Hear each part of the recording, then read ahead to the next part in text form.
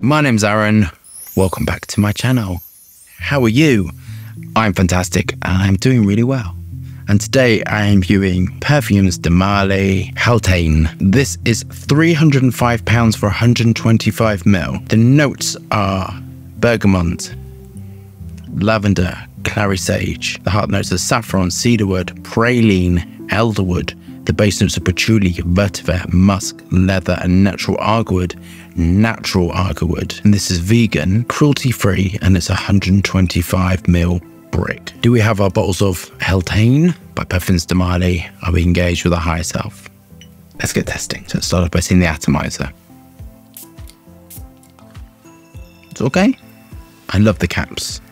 So it feels weighty and luxurious. So I've tested this actually. I want to do a wear test because I think Parfums de Marly fragrances are really good. They all have longevity. They all have, you know, they're quite gutsy. I was told they've reduced the concentrations down Somebody asked me that. I don't know if that's true. If you leave your comments below as if that's true or not. This is a beautiful DNA. I think this is really great. We're doing a video in a minute with this comparing and contrasting this to another fragrance. So buckle your seatbelts in for that one. So this is really great. I think all of this range is really wearable. I, there might be one that I tested that I didn't particularly like but the majority of them I think are really great, and I think it's really great perfumery. They use a lot of naturals, and so you get in that sort of bergamot top note. And bergamot as the top note is really great. It kind of goes with everything. It's not too limonene, it's not too linalool. You get different types of bergamot actually. It goes with everything.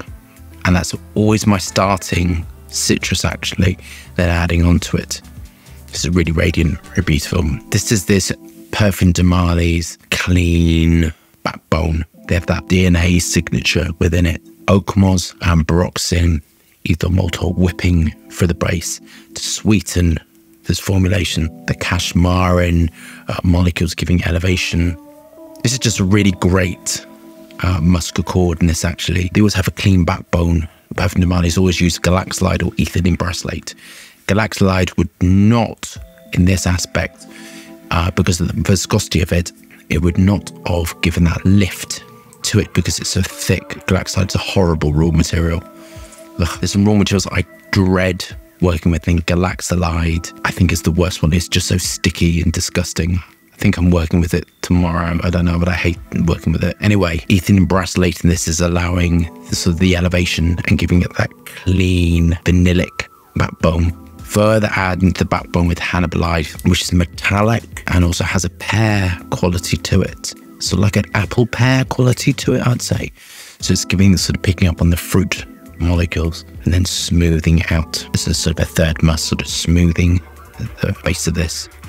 And that musk accord is key in combination with the oak moss and ambroxan and the ethyl maltol to sort of give you this sort of character within it. This is radiant on my skin. I don't know if it's because this uh, room recording in is hot, but this is radiant. When I tested it, it wasn't particularly radiant. Very, very easy to wear. The choice of raw materials is like key and the percentages of the raw materials were chosen perfectly. I don't know if it's saying, I'm really honest with you, I don't know if it's particularly saying oud, but I think it is a very wearable oud fragrance. I think this is their only oud. You have to be really careful. Not everybody wants a fragrance which sort of screams oud. You know, this is a very wearable, easy fragrance. Very likable, very wearable. Linalool compounds having to give sort of lift in it as well. So this is clean, fresh oak moss, ambroxan, cashmere, and muscovy. On to my final thoughts. I kind of love it if I'm honest with you. This sort of backbone I was sort of experimenting with for quite a while because I really, really like it. Really, really likable. And I may do something with this flipping around these sort of three aroma chemicals around does lots of amazing things. So if you put ambroxan at the top and the oak moss and the ethyl maltol, you get an effect. If you put the, so if you experiment with all three in different combinations, you get different effects, which is really nice. I think this is so likable and I think this range is really, really likable. So I'll go through my final thought processes. I kind of really like it. I think it's the right amount of sweetness, the right amount of ambroxan, the right amount of musk, the right amount of kind of everything, the right amount of naturals. I love the greenness. of the is. I love the sort of patchouli. I love the woods in it. There's kind of everything I really, really like about it, actually. And in here, it's sort of quite radiant. I don't know if you're really young whether you would like this, but I think it's a really nice smell. I would absolutely wear this. I love some of their work. This I really like. But I'm going to say this is sort of suitable if you're after a really user friendly oud fragrance, something which is sensual smelling. This amounts of sort of oak moss gives sort of real sensuality to the fragrance. This is a very sort of sensual smelling fragrance. I think this is suitable for autumn to spring, but when you wouldn't want to wear this in hot weather, it would get a little bit clawing, a little bit sickly. I think this is unisex. I think women could wear this as well. I don't think it's particularly masculine smelling. I think it's just a very strong, robust sort of wall of fragrance. I get about, well, on me, I can sort of smell it, but when I didn't wear it in a hot room, it kind of, I got about foot on projection. The sillage wasn't nuts on it, to be honest with you, but I kind of think it gives you that uh, de Marly thing to it. So I think it's just sort of a great addition to it, but I do really love it.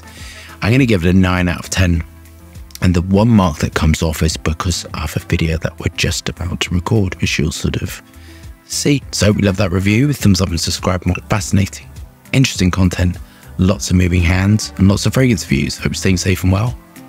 See you soon.